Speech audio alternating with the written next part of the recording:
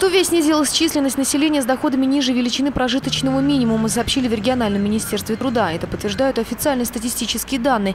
Так, по данным Красноярск стата, численность населения с доходами ниже величины прожиточного минимума за первое полугодие 2017 года снизилась на 10,5 тысяч человек по сравнению с аналогичным периодом прошлого года.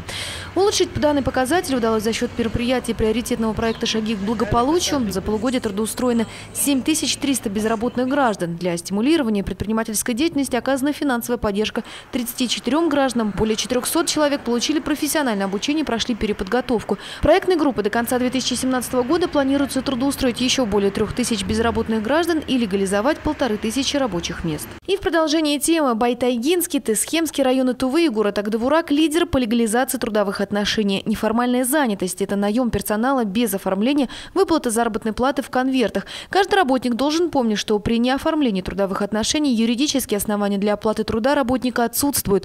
Одним из основных направлений проекта «Шаги к благополучию» является снижение неформальной занятости населения. В результате проведенных рейдов за 8 месяцев текущего года на территории республики выявлено 2811 работников, с которыми не заключены трудовые договоры. По итогам разъяснительной работы работодатели заключили договоры почти с двумя с половиной тысячами людей. Легализовать неформальную занятость без участия самих работников практически невозможно.